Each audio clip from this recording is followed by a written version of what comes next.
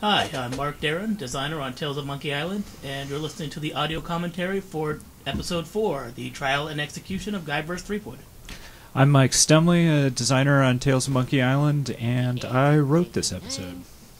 I'm Ryan Jones. I'm the concept guy, and I drew stuff for this episode. I'm Nick Herman. I'm a cinematic artist for this episode, and I make cutscenes. I'm Eric Parsons, cinematic artist. And this is Dave Grossman, uh, design director for the studio, which means I don't really do much of anything. So, uh, interesting story about this whole opening scene here. Um, Sean Vanaman and I kind of did, did a little double teaming on the writing of this, and there were conflicting director's notes on the opening cutscene. Sean had written in, Guybrush and Morgan have a long row into the island. And because I was looking to save money, I had written in, uh, we cut directly to the dock. And Yes. uh, Nick, when he uh, did the uh, choreography for this, uh, correctly decided to go with the long row in, which uh, Yeah. made it nice and moody and set the tone for the entire episode. I might have gone against the uh, the, the director's decision, but uh, uh, I I was having faith in myself, and hopefully, or and Yeah. luckily, it worked out. I think. As soon as I saw it, I, I got angry for about two seconds and then said, "Oh wait, this is much better now." So we went with it. I also remember us having a, uh, a big discussion about this scene and, and somebody using the phrase "start on the money," uh, which I thought was a really good idea, just to focus right on that bag of money that she gets at the beginning, kind of set up Yeah. the whole thing. It's a mystic voodoo summons that makes a lot of weird noises. This was a hard scene because there's a lot of lot of stuff we had to set up, Yeah. including those weird summonsy objects. And there was a lot of discussion about how we were going to get Elaine into the courthouse, and I think that's where the, the whole idea of the voodoo summons came from, so that she would just have to do it. Because if she was all crazy, why would she follow it? Why would she do it just because it was given to her? but if it's voodoo, then it's okay. Can't argue with voodoo.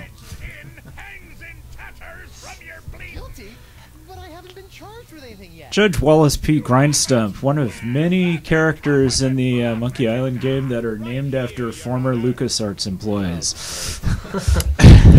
Oh, Stan's jacket. Boy, that we did not jacket. know whether this jacket was going to work until like days before the thing came out. It was the, it. it was Every the day first- we were coming around saying, "Is that jacket ready yet? We got to see the jacket." pretty sure it was the first thing on the list of things to do and the absolute last major feature to come in. This is literally the first bug I wrote up for the database is we have to have Stan's jacket. And everyone promptly ignored you for Yeah. five weeks. Yes. It's funny too because uh, uh, afterwards you, I was watching a bunch of different reviews, and you can tell who was the uh, who were fans of the original Monkey series because a lot of people wrote this up or in the review said there was a bug in my you know on my version of the game where this jacket was weird things. Was We worked uh, so hard to put that bug in. good good attention to detail on it too. I remember Kevin walking by my desk and, and pointedly asking me when Stan walks across the room, is the pattern supposed to move with him or not? Because we could do either way. And look, there it goes. Stan was also uh, inspired by my dad. He just looks like a clean-shaven version of my dad. I love the voice we got for Stan. He sounds a lot like Phil Hartman, uh, which is Oh, kind of where we were going with. Is that Kevin Hammond? Interesting. I don't even remember saying exsanguinate. No, no, I- I'm not questioning your professionalism. It's just that I don't even know. Stan what and being. Kevin in the background Yes, and the pictures Sorry, on the ma'am. wall. Not worry, old bean. Oh yeah. Is that really what that Hotel founder. Drawing quartering to drawing thirding. Fraud. I was really not sure this was going to work. I, I remember reading the script for this bit, and, and it was really funny, but I was just trying to figure out how we were going to do it visually. Uh, but it was great. We did it. The, the, uh, it was one of the playtest favorites. Oh, why did you put the wig in there, Mike? I never really understood the The wig. the the wig of foppery, That's the one. uh, just to make fun of our contest winner. Uh, for since the uh, case was all based around uh, uh, a contest we held to what what evil guy thing did Guybrush do to you, so we decided to give him a silly wig when his case got tossed. Paralyzed with fear. But I I put it to you. I know you originally wanted the cat humble completely wrapped up in casts. Captain Fortune Shoreline? Well, yeah, we decided we couldn't have a Oh, moving right. cat, uh, so it was a question of how he wouldn't be moving. Shock the monkey.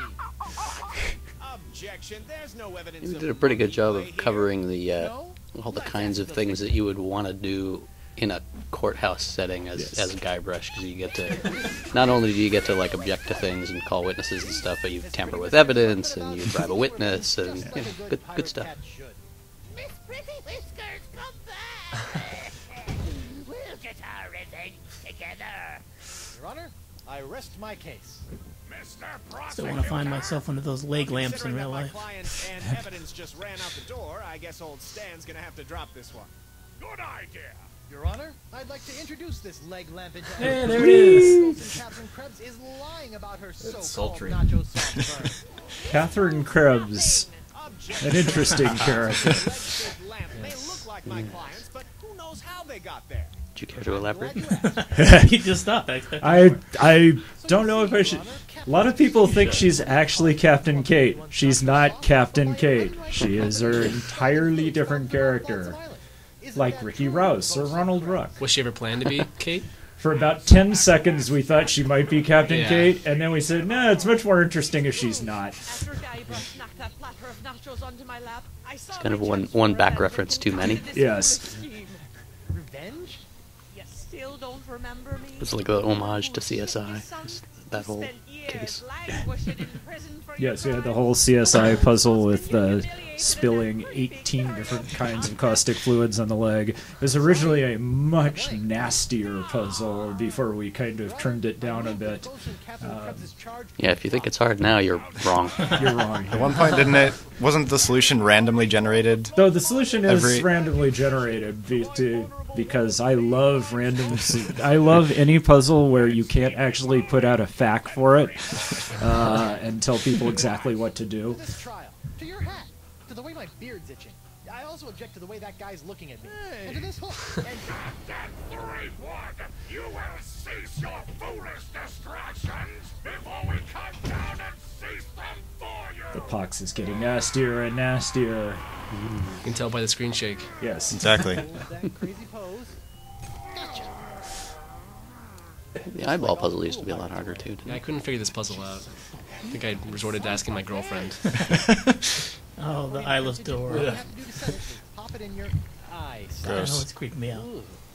How do I look? Dangerous. You. I think you mean Looks like he has pink eye. Sure, whatever. Now, about your testimony. no problem, mi amigo. Just This whole thing about pirates and missing limbs and organs and various things gets it treads a line at times. I was. Trying to get For some instance, right contact there. lenses like that for Halloween, but uh, but they were like fifty bucks, so uh, forget that. You can actually get red for your, the white of your eye. Yeah. It, yeah, it was yeah. Cool. Yeah, it was uh, it was too much too much for Halloween for me. Wasn't it in Last Action Hero with Arnold Schwarzenegger? Yeah, the guy with the apron. Yeah. Yeah. I did do the pock skin and the Winslow beard though, which I kept for several months after Halloween. the beard, not the skin. What I do like about a lot of these uh, cases is how a lot of Guybrush's stupid actions in the first uh, episode have come back to haunt him.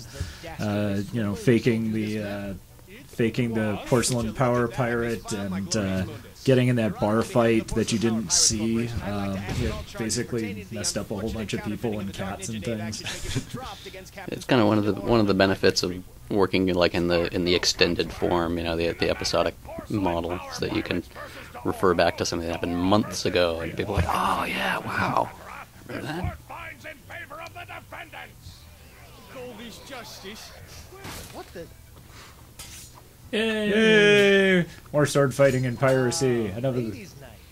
I love all of our sword fighting scenes. Yes. all really fun. Man, I got so much attention at my desk when I was setting this scene up. Yes. Or everyone walking by and seeing the cat fight. Whoa! Oh, whoa! All right, calm down, everybody. Hachi-machi. Pretty epic. With this understanding on your own. Club 41 was uh, My head's ability to the most fun environment to design. Yeah. Just loads of junk everywhere. Tell me, did it hurt? I love the alligator holding the dartboard. I think that's my favorite bit. Higher heaven? No, but this will. Stay away from Guybrush, you sea hog! And Elaine and Morgan take the longest possible route. and travel separately.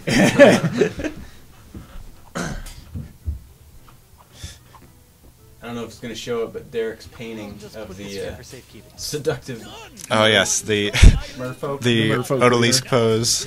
Yeah. Mer leader. Really disturbing. Yeah, take a look at that next time you play the game. I don't know how you can miss it. I try to block it out actually. Don't ask me. Ask your crazy one.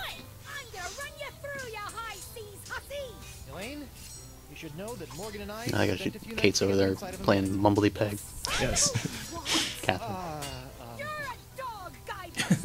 um, like mine stump in the back. His chin. Good for nothing. He's a little bit scared, but he's just chilling, mostly watching. Protecting his bottles.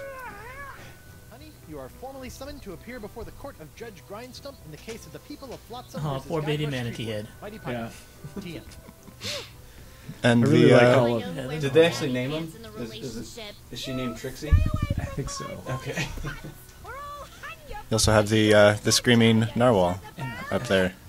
All, all of uh, Vanaman's dialogue in this scene is uh, great. The uh, "keep your hands away from my husband's pants" is a great line. I told you I had a job to do. Sure, just doing your job. Tell me, aside from all the silver, how are the benefits? Guybrush. Do you get health care for the repetitive stress injuries caused by all the backstabbing This and cutting off people's yeah. hands? Guybrush's. Is that Sean as well? Sorry. We really wanted Guybrush's sort of last words to Morgan to be words of annoyance and anger to increase the insane poignancy of what's to come. Uh, Spoilers. Mrs. Spoilers. Spoiler alert. Some idea of what a fine of Ah, here comes some fan service. As Elaine Yeah. recounts the entire history of her relationship with Guybrush. After shanghaiing a crew to take him to Monkey Island, he totally failed to rescue me from the evil clutches of the ghost pirate LeChuck. One wonders why she uh, stays with him, uh, given given the truth behind all this stuff. May have been a bad line of questioning. It's uh, all filtered through the pox. One went looking for the treasure of Big Whoop. I didn't hear from him for three years after that.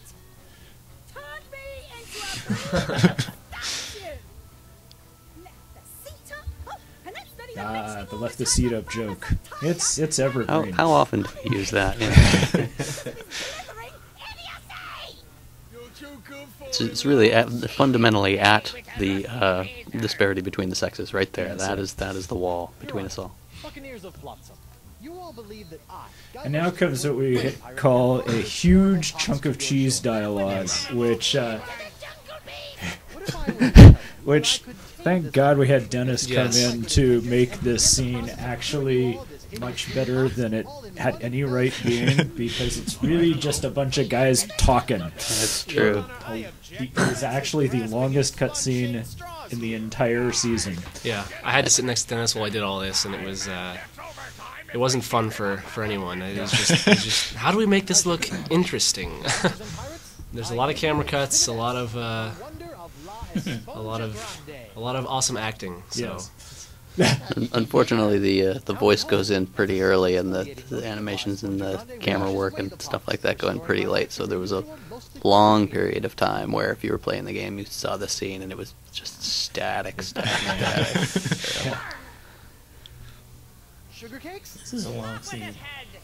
But yeah, It's like a the- third over. It's the turn from the end of the second act to the beginning, or the end of the first act to the beginning of the uh, second act, and it's just like big long cutscene at the end of it, and then a big long cutscene at the uh, beginning of the next one. And, and but Yeah, this wasn't even the worst part. We're not even to the worst part yet. yeah, this is actually the cool. part. Well, and the thing is, like, I think this might have been Dennis's only cutscene in Monkey that he's ever done, or at least his first. Mm-hmm. Yeah, his first. So think so he was he was working completely blind in a new project, and I think he did a pretty pretty damn good job. Oh My yeah, name is LeChuck, and I can tell you exactly what Guybrush did.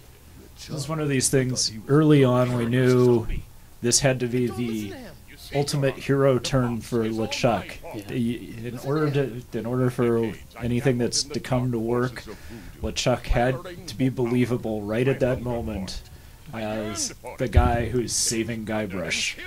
And I uh, can attest to all of I this. think it's a good testament to uh, the cutscene and, and the acting. It, it actually kind of works. People believe it. Yeah, it was basically, basically what we were imagining was that you, as the player, would be right along with Guybrush in, in not really believing that uh, that LeChuck had turned good for a long, long time, and that this would be the the spot where you would question yourself and, and really think, well, geez, maybe he really is a good guy. Just saved me. Mercy of this court, or lack thereof. With your head. But wait, there's turns out I had an unknown. Wait, there's a whole lot more. Uh, corridors. A power far more insidious Should than we I start could pointing the finger hope at the voodoo lady? Yes. to the court. This journal. Changing the way this journal, which we're not going to show you, but which actually has lots of pages of the voodoo lady explaining her plot. Trust us. It's in there. What the what? In these pages, you will find detailed plans laid out by the voodoo lady over the course Quick, read it, read it. re- Okay. I really, Okay. I really Freeze love his pronunciation of voodoo lady. My seemingly endless cycle of ironically comical death and disturbing resurrection. My obsession with the darling Elaine. It's all because I remember Dennis going through a few different revisions of how Elaine reacts to that line, Yeah. about how how into it she is, or how she blows him off. I've always been amused how when LeChuck changed from demon to human, his hat and belt buckle became Changed, happy yeah, as happy, yeah. I've had it up to me eye patch with all this land-loving lollygagging. I'm off to plunder me some treasure. That's a, Elaine basically speaking for the player at this point. I've had it. go cure your wife.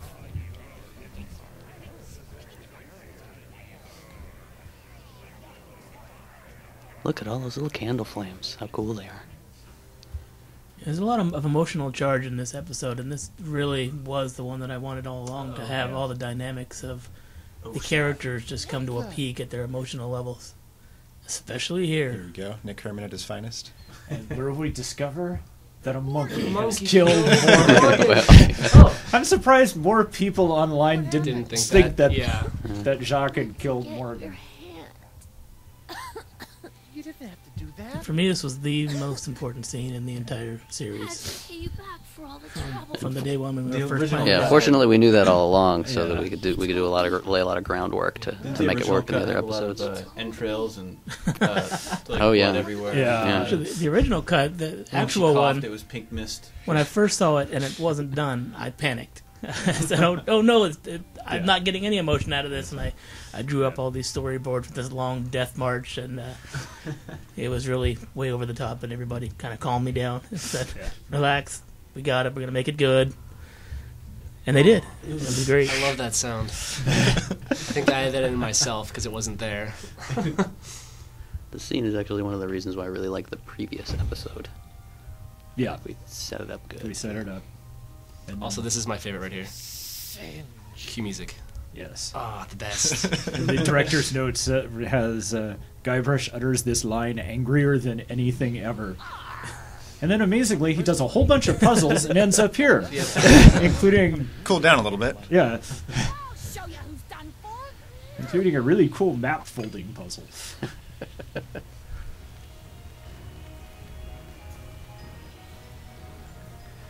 we had we had to work on getting this puzzle designing this puzzle took like two weeks to come up with things that made use of everything that we had done in the rest of the episode so we ended up with moths eating a turban I wasn't Pretty convinced the hand hat was going to work. bizarre. But, Without my hand to supply him with more jus de vie, all those wounds you're gonna be starting to catch up with him.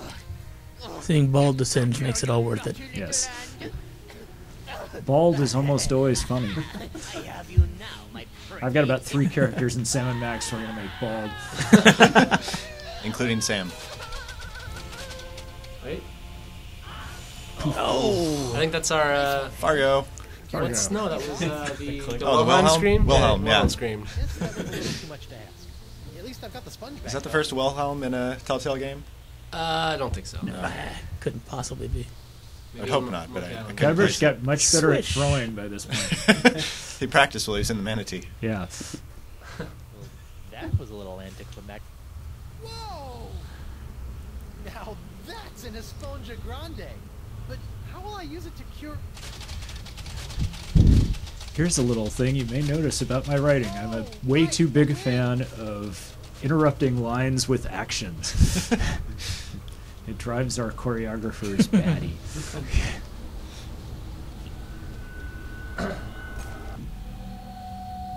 Probably not Jake as much Rockin. as interrupting lines with other lines, though.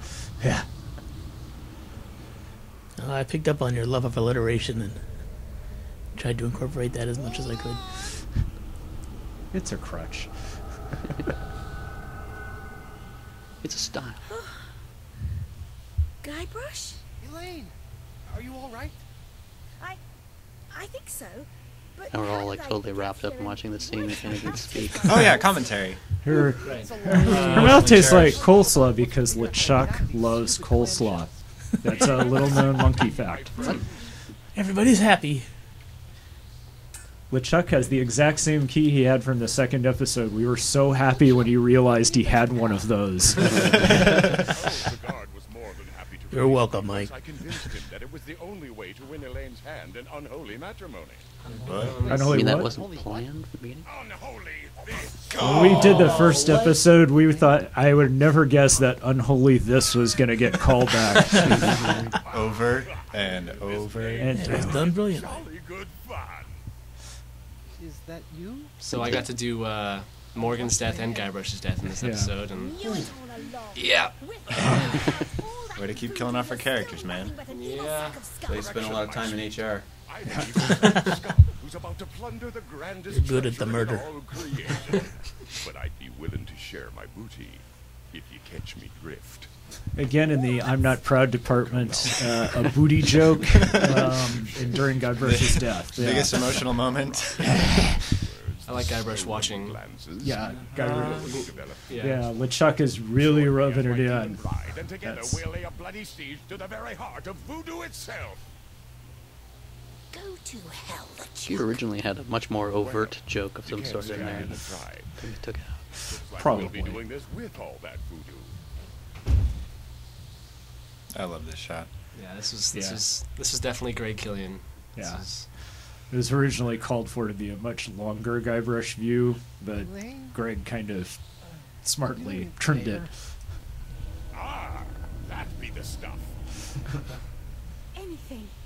Kick his two-faced. One thing I also like about this is the whole LeChuck transforming Monkey and all is like totally and background and all inconsequential compared to what's going Right. on here. Aren't you dead yet? That that melee to monkey line is probably my favorite Elaine line in the whole series. yeah, no, I love that. I love that delivery. Also, Great Earl- read. Earl Boen. Boen. Earl Boen, everybody. And everybody went, "Ah!"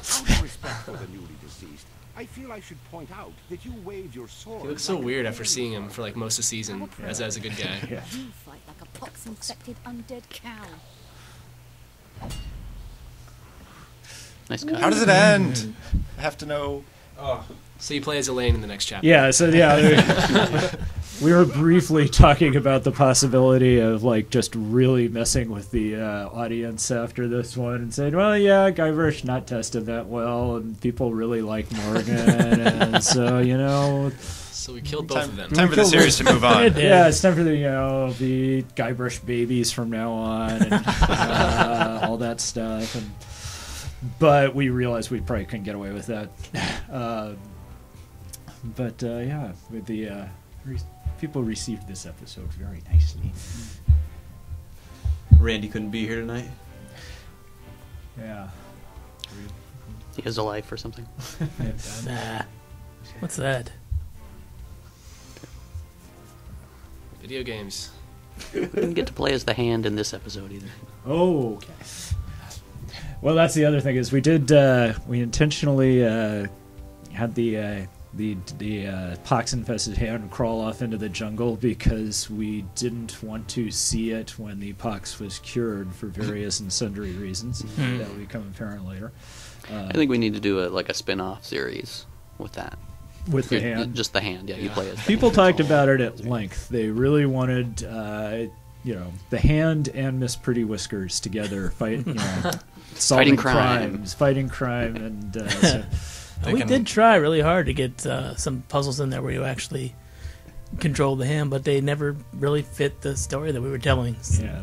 I think we can get So we'll uh, spin it the hand and Pretty Whiskers to uh, fight against our arch nemesis Murray and Treasure Crab. Yes. I Yeah, and this- they'll the just- season is writing itself. Yeah. That's, uh,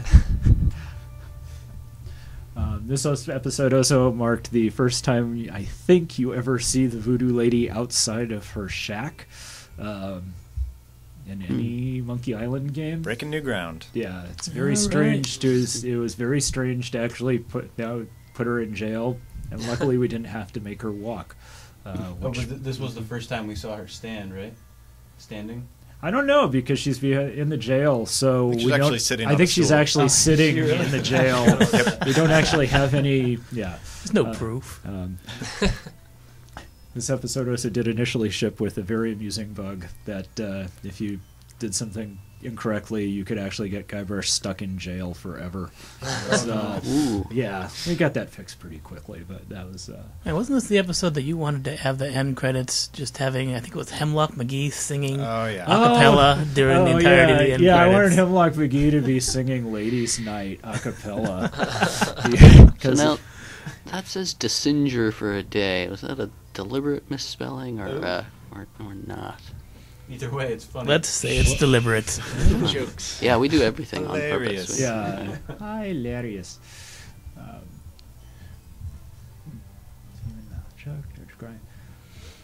We don't usually put uh, much of the content of our games in the hands of the uh, of the audience, but um, we we did do that this time. We ran Yeah, a we- contest and people submitted lines to be to be used in the uh, in the trial scene. Yeah, and, And we we ended up selecting the he ruined my perfectly good X because we figured we could probably dismiss that case with just about two lines of dialogue and it would be the easiest thing for us to do rather than making a huge art intensive puzzle out of it. Uh, in hindsight, I some I realized after we had done the gag with the broken X marks the spot thing that we really should have had like uh, his ex uh, wife, his broken ex wife or girlfriend there, which would be much funnier and grimmer, uh, and not what people were Ah, expecting. Uh, it probably wouldn't have translated as well. My Uh, perfectly good ex. my Still, perfectly good hindsight. ex. Yes. Speaking of X, who's, who's X Adam? That, that is my brother. Hey, Yeah. shout out. Sweet. Booyah. How do you pronounce that? Adam. Uh-huh. It's a silent X. Silent X. Uh, um, Brendan. Brenton. Our favorite telltale and pet. another and yet another monkey baby added. Lots of babies were made during this Yes. production. As it a- should be. That's about the uh, that, I think about the sixth or seventh as of the fourth episode. So yes. We make them almost as fast as we make the game. All right. Oh, we're Alright, gonna wrap it up now. Take it easy.